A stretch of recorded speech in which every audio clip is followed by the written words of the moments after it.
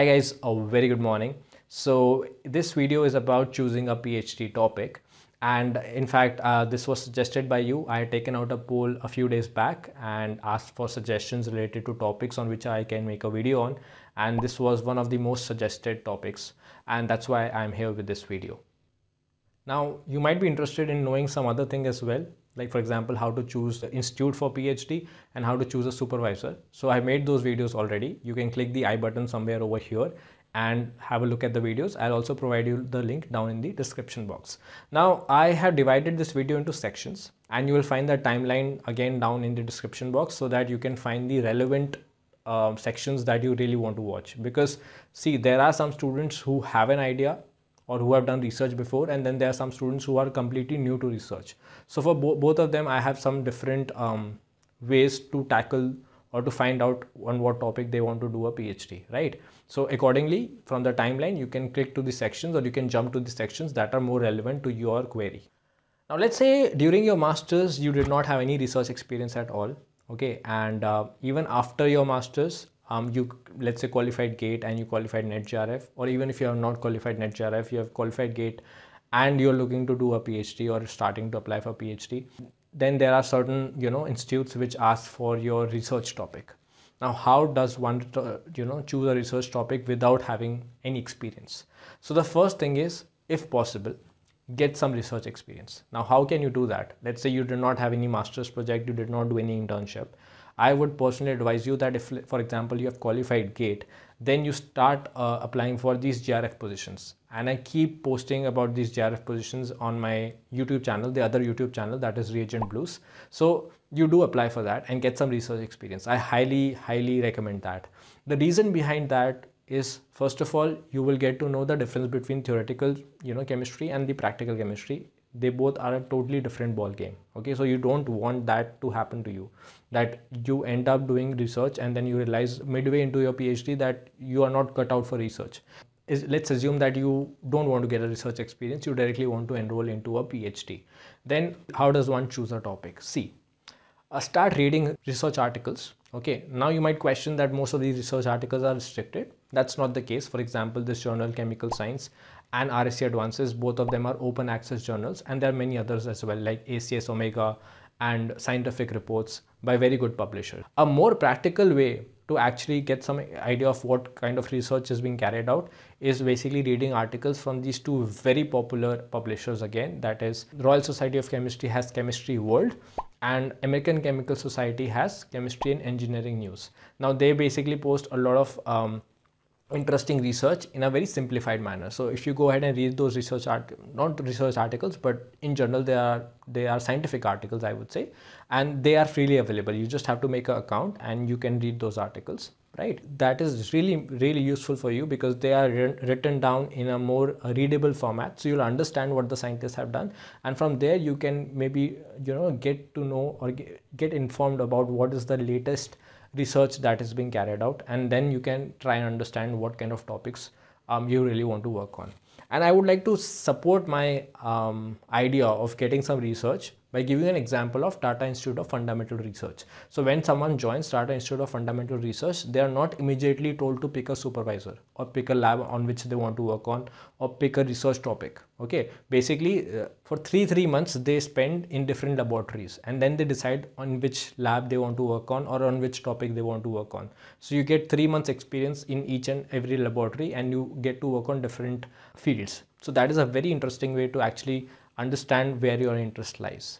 Now, let's say you have already figured out your research topic, okay, by these means, or you have done a research project before, and from there you have an idea that, okay, this is the broad topic that I want to pursue a research upon. Now, the thing that you need to focus on is whether your topic is very resource intensive or not, okay. Now, why am I saying that? So let's say you have to work on artificial photosynthesis. Now you have read the research on artificial photosynthesis and you know what kind of instruments are required. Say within India, those instruments are not available with any institute or even if it's available, it's only avail available with a couple of institutes. So of course, you'll have some difficulty because if that instrument malfunctions for some reason, your, your research work would stop, right? And then you might not want to join that institute or your choice of supervisor might not be there in that particular institute. So you have to come up with a topic which is more practical okay which is not so much so intensive. Just for an example like for example i'm a medicinal chemist. So um, uh, we have to choose targets in which we have collaborators okay? What i mean by targets is let's say we are working on some particular protein which is involved in some disease okay? Uh, now if i choose a protein see when we when we design molecules and we synthesize molecules we also need to experimentally check whether they are going and binding to the protein or not okay or whether they're redu reducing the exp uh, expression of that particular protein so to do that, we have to collaborate with external collaborators in the field of biology or biological sciences, right? Now, if I choose a target for which I do not have any collab collaborators available, okay, I cannot collaborate, nobody is working on that topic. So what will I do after synthesizing? How will I do the experimental studies? That's where the problem comes. So you don't have to be over ambitious with the topic. I know you want to work on a unique topic and that is fine. That is absolutely fine. But you have to figure out that whether you have the collaborators or whether you have the resources to actually carry out that particular, you know, um, work. Or you are like Professor C.V. Raman, that if the resources are not available, you come up with a new spectroscopy technique altogether. Okay, so either you are that brilliant or else try and choose something which less resources are required. Next, I would advise you to come up with a research topic which is a combination. Try and do that. Okay, which is a combination of theoretical as well as experimental. That means you get hands-on experience on both theoretical, um, you know, uh, softwares or theoretical concepts as well as experimental um, skills. Why that is required is because in today's world a lot of uh, the job opportunities are given to candidates who are more who have a higher or a broader skill set okay? Uh, nowadays if you have experience of both experimental and computational or experimental and theoretical you will always have an edge over the others. And the second thing is that when you do theoretical plus experimental you have both these fields to actually go forward with right? Let's say after a while you get bored with experimental and you want to pursue theoretical so you can do that. But when you do purely experimental and you want to switch to theoretical that won't be possible. So try and come up with a topic which has both the aspects the theoretical and experimental. Like for example medicinal chemistry has that. Um, then even material chemistry a lot of computational calculations are required in material chemistry also to design you know uh, smart materials. Like for example if you want to design a hydrophobic material which repels water you can design that first uh, and then you can test out the theory. So it it serves a lot of purposes. Like i said you have a broader skill set. You have the option to uh, you know switch to experimental purely or theoretical purely um, after completing a phd and then thirdly you also get to really see how science works because some of you might not believe that you can actually predict things first theoretically and then experimentally do that. But once you do that by yourself by your own hands you'll realize that how important the theoretical concepts are now, some of you might be tempted to choose a hot topic. Okay, hot topic of research. Uh, this is always the case. So like for example, in chemistry, the hot topic of research a few, a couple of years back might have been CH activation in organic chemistry, right? But you don't have to get influenced by that. It might be a hot topic at that point of time, but within a couple of years, things fade. Like for example, now the hot topic of research is machine learning in various chemical tools. Okay this is just coming up. It's a hot topic. Machine learning in drug discovery machine learning in chemistry.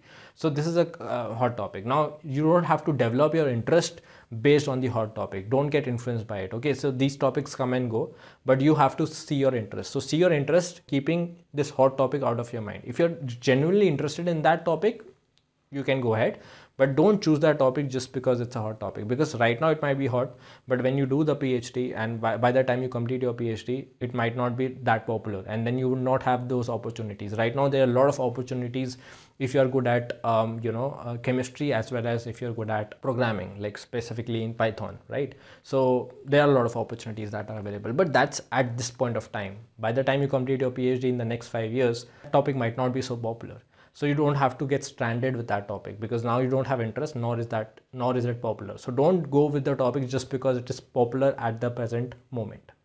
Now if you're specifically looking for a phd just because you want a job okay that is your sole aim. You don't care about research. You don't have anything any interest in research. You're just doing a phd because you have no option. Or maybe later on you want to do a job and you have heard that phds are more well paid as compared to a master's candidate. Now, if you're doing it for that purpose or your sole aim is to get into the industry later on, then um, I would advise to go for for uh, topics like organic chemistry and medicinal chemistry because within India there are a lot of opportunities for PhDs in those fields because medicinal chemistry see uh, within india uh, the field of pharmaceuticals is very well established. You can see that there's a whole genome valley in hyderabad and then bangalore also has a lot of um, pharmaceutical companies. And pharmaceutical companies always demand organic chemist and medicinal chemist. So if your sole aim is to get a job after phd that's all you, you care about then choose topics accordingly which have more job opportunities. Like i just mentioned organic chemistry and medicinal chemistry have a lot of job opportunities because in within india okay outside i'm not very sure. Uh, even i'm not ex- experienced to know what kind of job opportunities are available abroad. But within india there are a lot of opportunities for organic chemist and medicinal chemist in the field of uh, synthetic chemistry and the last thing is if you're like generally not interested in research at all then you go for a lab um, whichever interests you the most or which has a well established supervisor and you go ahead and whatever topic they are working on you will also learn it. And that's it. You keep doing like a laborer does they will tell you add this add that do this do that. You keep doing that and you will get some research articles and then you can get a phd and then you can do whatever you want. So i mean in that case you don't have to really think about choosing a topic. You can just go ahead join uh, in a well established lab which is already publishing papers. And you go ahead and whatever your supervisor advises you just do whatever they say.